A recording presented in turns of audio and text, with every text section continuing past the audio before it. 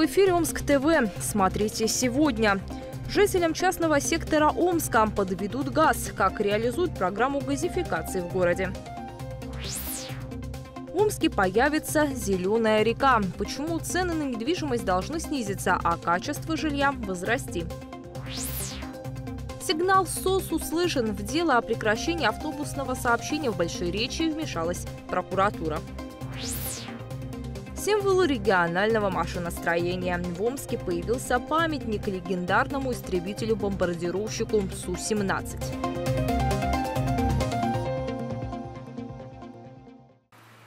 Утекает омское зерно и почему доходы от его продажи идут мимо региональной казны, потребовал выяснить омский губернатор. Александр Бурков распорядился предотвратить нелегальный экспорт омского зерна в другие государства, в том числе и в Казахстан, поскольку это пагубно сказывается на всей экономике региона. Областной бюджет существенно теряет на налогах. По зерну, по вывозу на жесткий контроль, чтобы мы понимали, сколько у нас по факту зерна, так? И э, э, налоговая видела, какие обороты у наших предприятий. Вот эта Хорошо. кэшевая составляющая в торговле э, сельхозпродукцией, да, растениеводства, она пагубно сказывается на нашем регионе. Давайте хотя бы в этом году поймем при закрытии границ, когда легче сейчас контролировать, сколько какой объем вывозится и насколько он вывозится легально чтобы мы видели, какие обороты реально у наших сельхозпредприятий. Мониторить оборот зерна предполагается прежде всего через пограничные посты. Подробности предполагается обсудить уже на этой неделе во время перштаба по проведению уборочной кампании. В регионе она уже стартовала, убрано 3% посевов. Как отмечают специалисты, урожайность будет ниже, чем в прошлом году. Президент Владимир Путин назвал Омск в числе 12 городов, жители которых первыми в стране получат бесплатный газ. Все города-участники нацпроекта «Чистый воздух», соответствующее поручение, глава государства уже дал Минэнерго и «Газпрому».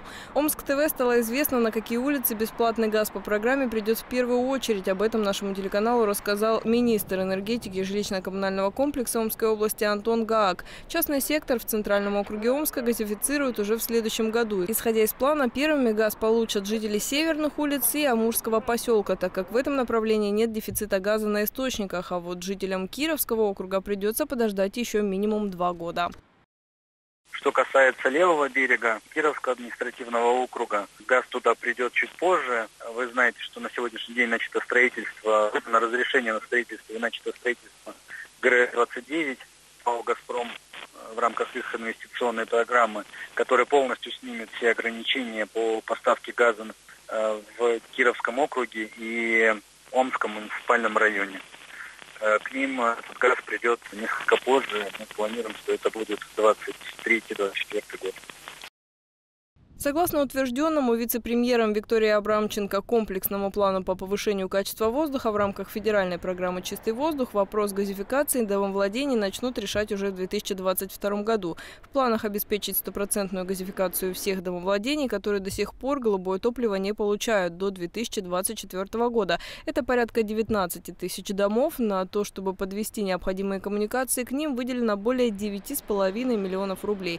Напомню, закон о бесплатной газификации был принят в 2021 году, государство готово компенсировать расходы на подведение газовой трубы до распределительного пункта на границе участка. Работы на самом участке хозяину частного дома придется оплачивать самому. Омское левобережье ждет масштабное преображение. Сегодня в областном правительстве подписано трехстороннее соглашение о реализации крупного инвестиционного проекта в сфере жилищного строительства. Компания «Эталон», с которой губернатор и мэр подписали данное соглашение, известна по комплексной застройке Москвы и Санкт-Петербурга. Комментируя подписание соглашения, губернатор отметил два главных преимущества, которые получит Омск. Приход столь крупного игрока в регион существенно повысит конкуренцию строительной отрасли отрасли, которая сейчас переживает не лучшие времена. В год по всему региону сдается порядка 500 тысяч квадратных метров жилья. При этом его качество не всегда соответствует нормам и требованиям, которые приняты в крупных мегаполисах центральной части. При этом в областном правительстве рассчитывают, что стоимость квадратного метра на омском рынке недвижимости пойдет вниз при более высоком качестве самого жилья. Компания «Эталон» заходит на земельный участок для строительства жилья в рамках масштабного инвестиционного проекта. По которому предусмотрена передача в муниципалитет вводимого жилья. Вот это ключевая вещь для региона, что мы получаем сегодня инвестора, который готов передавать большой объем жилья для предоставления тем, кому сегодня положено по закону. Проект жилого микрорайона на Левобережье в лесопарковой зоне на улице Волгоградской уже получил название «Зеленая река». И это принципиальный момент, отмечает мэр Омска Оксана Фадина.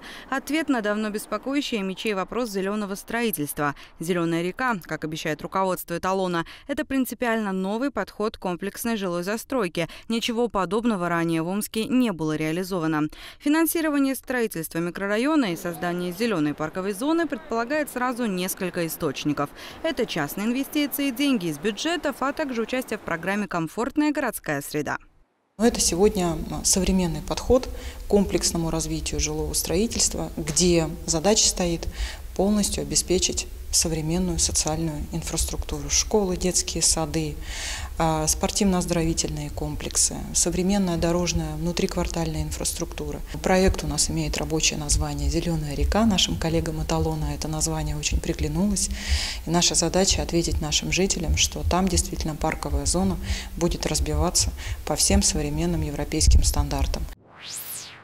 В Омском Чернолучье возле детского оздоровительного лагеря «Спутника» базы отдыха имени Покрышкина на постаменте установили самолет истребитель-бомбардировщик Су-17. Легендарную крылатую машину, которая в 70-е годы 20 -го века была участником боевых действий во всем мире, Ираке, Иране, Анголе, Афганистане и других странах, можно считать символом рассвета омского машиностроения.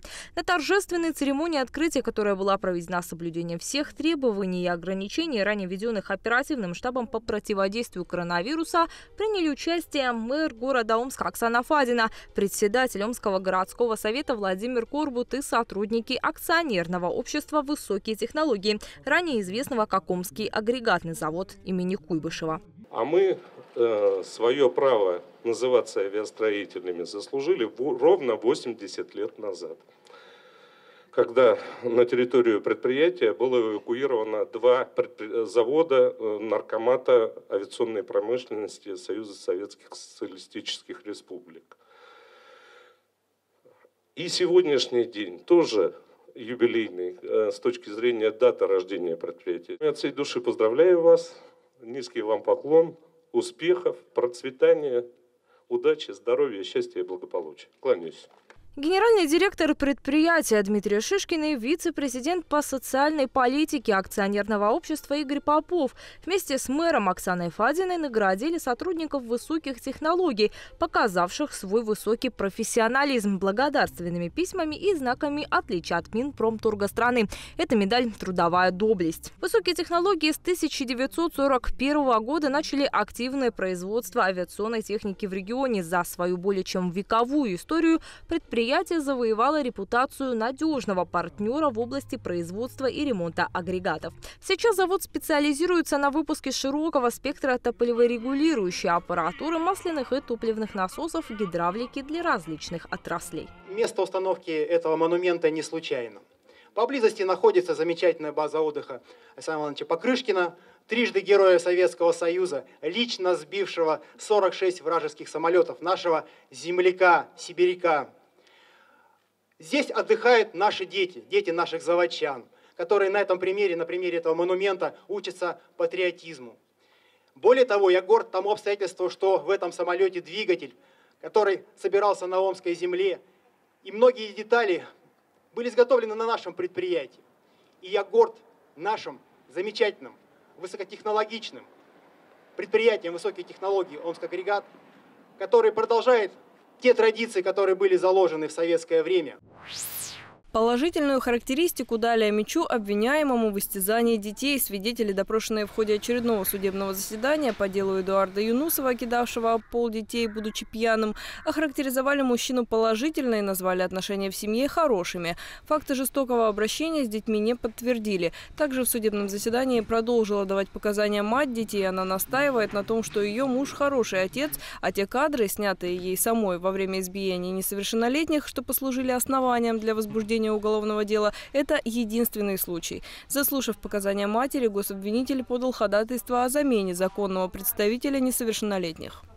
В связи с тем, что, по мнению государственного обвинителя, субъективное мнение сложилось по поводу показаний законного представителя мамы несовершеннолетних. Предложено из числа работников органов опеки и попечительства то есть пока конкретно лицо не определено и также не решен вопрос, будет ли судом удовлетворено данное ходатайство, либо нет. Будет ли заменен законный представитель детей, суд решит на следующем судебном заседании по делу 18 августа. Тогда же допросит еще нескольких свидетелей. Вызваны пять человек, в том числе соседи, школьный учитель и воспитатель детского сада, которые посещают дети. Однако кто явится на заседание, пока неизвестно. Свою позицию по делу гособвинения озвучит в прениях сторон, но только после того, как станут ясны все обстоятельства произошедшего. Не прошло и дня в Большереченском районе, где накануне десятки сел остались без автобусного сообщения, восстановили пассажирские перевозки. В дело вмешалась прокуратура. Главе Большереченского района внесли представление с требованием об устранении нарушений законодательства о пассажирских перевозках. Местным чиновникам пришлось оперативно реагировать. Во вторник стало известно, что транспортное сообщение возобновят. Новый муниципальный контракт с перевозчиком уже заключен. В районной прокуратуре отметили, что проверка продолжается. Решается вопрос об ответственности виновных должностных лиц. Добавим, что по информации регионального Минтранса, ранее Большереченский район заявился на отбор для получения дополнительного финансирования на обеспечение пассажирских перевозок. Вскоре на эти цели выделят еще полтора миллиона рублей. Асфальт, способный залечивать трещины. В Омске начался комплексный ремонт Фрунзенского моста в рамках национального проекта «Безопасные и качественные дороги». Строители на объекте работают с мая. Успели снять часть старого покрытия, проводится монтаж металлических ограждений и работы по ремонту гидроизоляции мостового сооружения. Всего подрядчику компании ООО «Артремстрой» предстоит заменить гидроизоляционный слой на площади около 7 тысяч квадратных метров. Кроме того, на мосту уложат новое асфальтобетонное покрытие, которое, по словам специалистов, имеет свойство самозалечивания. Асфальтобетон э, у нас будет э, щебеночно-масличная асфальтобетонная смесь. Это в простонародье говорят как самозалечивающая смесь, то есть она при теплой температуре имеет свойство себя э, ну, задела, за, залечивать. Вот. Также на тротуарах будет устроен, устроен асфальтобетон. работы в третьей декаде октября. Стоимость работ по контракту составляет 78 миллионов рублей. Отметим, что этот мост по плану строители должны были отремонтировать в 2022 году, однако подрядчик решил сдать объект раньше срока и приступил к работам в этом году. В мэрии сообщили, что полностью закрывать мост на период ремонта не будут. Сейчас перекрыто только две полосы в направлении улица маршала Жукова.